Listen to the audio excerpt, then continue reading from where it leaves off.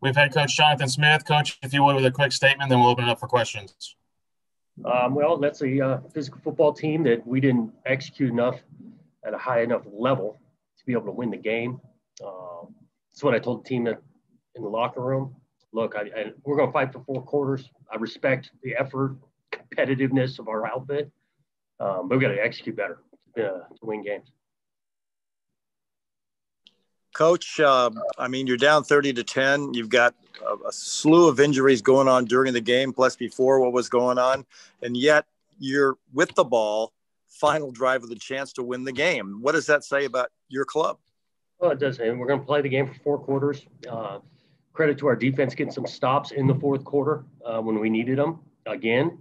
Uh, really, we had two opportunities with the ball down six, less than, you know, under five minutes. And again, didn't didn't get it done. Coach, when did you know that you were going to be without Jermar, and and just how would you describe playing without him, without Gebbia on the road? Not not ideal.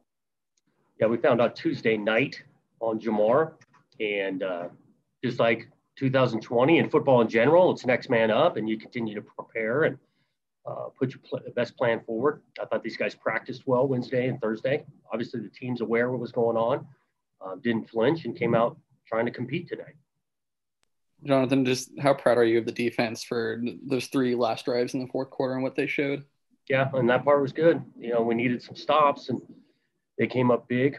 Uh, needed to sort some things out. I even thought in the first half they're moving the ball really well, and we held them to some field goals that uh, ended up being huge, keeping the game close. Uh, at the same time, we got to create some turnovers. I don't think we got any. Had some opportunities, um, but they definitely had one that turned into three points for them, and then they had the huge return on on uh, on punt where we didn't have the same type of plays getting turnovers or special teams. Hey, uh, Jonathan, Avery said that he didn't think he played very well, but he had 21 tackles and 10 solo tackles. Well, he had a bunch of opportunities. I know that they were out there running the ball, possessing the ball, moving the ball. Um, and he's a good player, man. He competes and he's a good tackler. And we've got some guys on that side that uh, this game means a lot to them we got to uh, continue though and to improve. I mean, on the run defense, get off the field a few more times. I don't think they punted till late in the third quarter. How would you evaluate uh, Chance's performance, Coach? Yeah, not, thought that uh, you know for a first start coming over here and playing this defense, uh, knew that this was going to be a good challenge. Um, I did think he uh, continued to get into the flow of the game, uh, but he, you know, he's got to be more accurate at times. I think he'd tell you that himself. But shoot, he played well enough to keep us in the game with the ball at the end of the end of the game. Had opportunities, so I know he'll he'll learn a bunch from this. He'll dive into the film and and having a first experience like this, we're counting on game two to have a huge jump. Do you know the status of Jermar for next week? I do not. Hey, coach, when you looked at not the last drive, but the second last drive, when you guys had the fourth down, the fourth and one play, was that a direct handoff for sure? was it an RPO? That was in a uh, that was an RPO. Uh, again, trying to go fast there and steal one.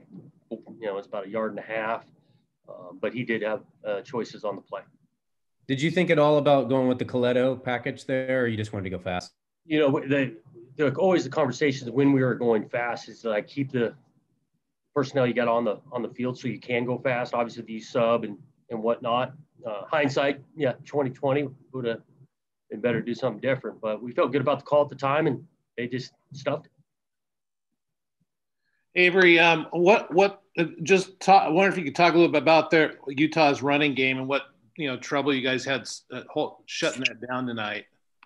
Um, well, I mean, we knew what they were going to run. Uh, we just didn't execute, and uh, it showed. Uh, I, I, mean, I can only speak for myself, but I probably played my worst game of the season. You you felt you played your worst game of the season? Yeah, for sure. Uh, how, how, how so? Missed tackles. She played out there assignment wise. Just wasn't executing the way I was supposed to.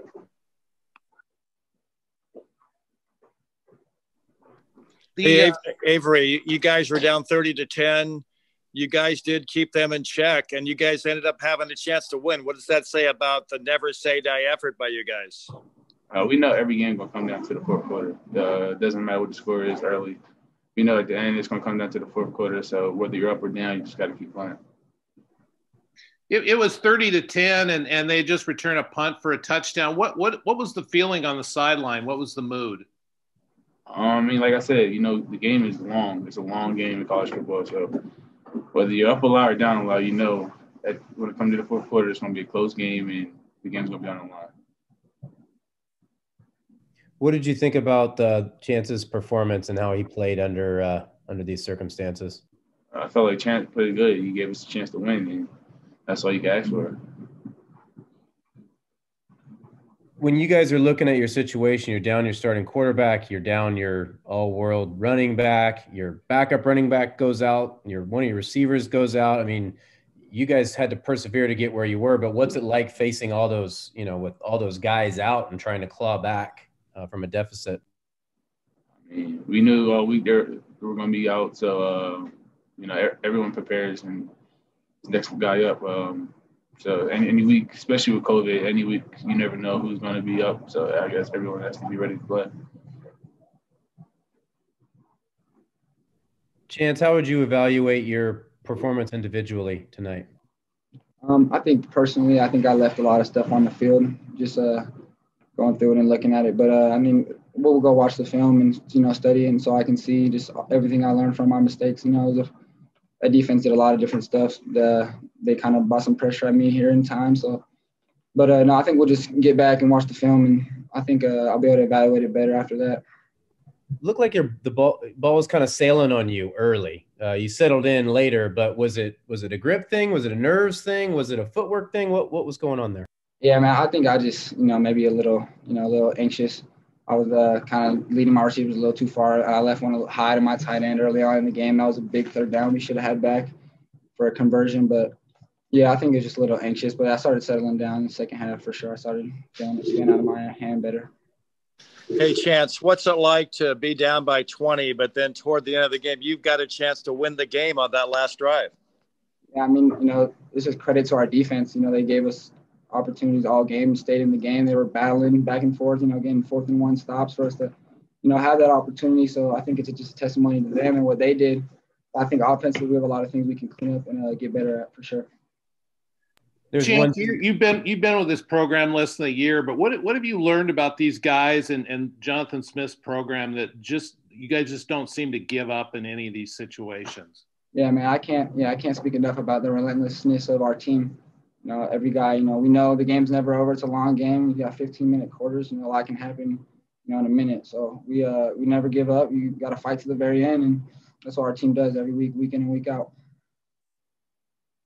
Chance, you threw that um, that 21 yard t- touchdown pass to Colby there in the fourth. What's kind of going through your head after that moment, and you guys realize you still have a real chance? Yeah, no, yeah. I mean, shoot, we were. I don't think I didn't think at any point we were ever out of the game. You know, 20 points isn't a isn't a big thing to come back from. So yeah, when I just that after that, I just you know we got to get a stop and we got to go do it again, take the lead. So I mean, really was all only thing in my head after that, just get the ball. But hopefully we get the ball back and hopefully we get another chance. And you know, unfortunately we fell up short, but um, that's football.